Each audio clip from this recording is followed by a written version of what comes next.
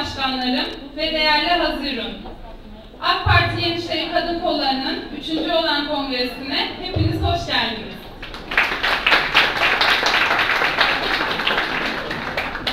Yoğun